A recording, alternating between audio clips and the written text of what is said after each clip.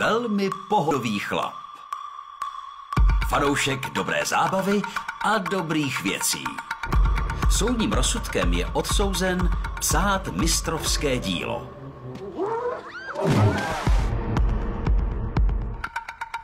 Matthew McConaughey, Snoop Dogg, Zac Efron a Jonah Hill v komedii Plážový povaleč na kanálu Filmbox.